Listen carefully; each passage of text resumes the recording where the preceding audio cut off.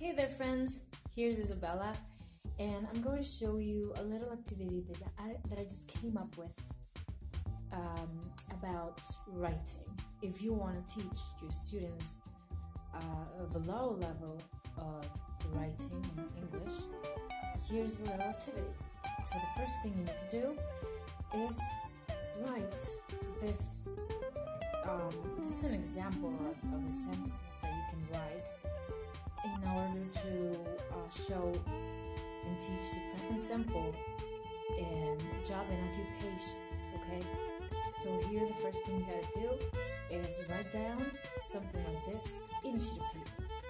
Next, you have to cut. Now all my papers are cut. This is how it has to look. So you divide your class into groups of four or six, depending on the amount of students that you have. And then the idea is students, each student is getting one paper in groups of four.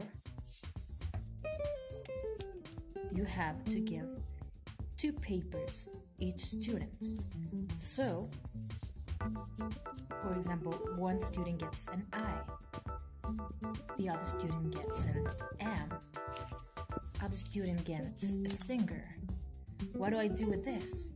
They have to put the correct order to make the sentence happen. I am singer. What is what's the missing word in here? Am, of course. So you look for am until you find it. I'm sorry for a.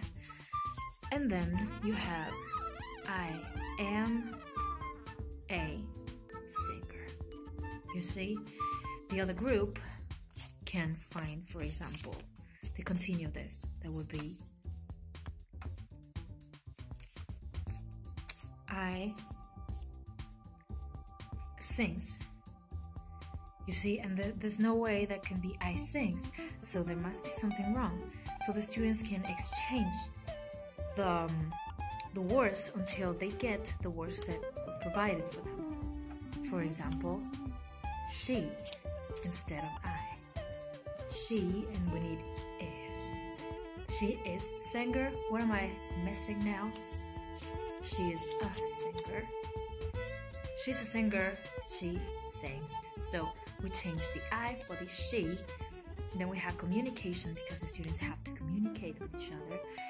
And uh, finally, we have the sentence She's a singer, so she sings. See, this is a very, very easy and uh, quick activity that you can use with your students in order to um, start with a warm up. I hope you liked the video. Bye bye.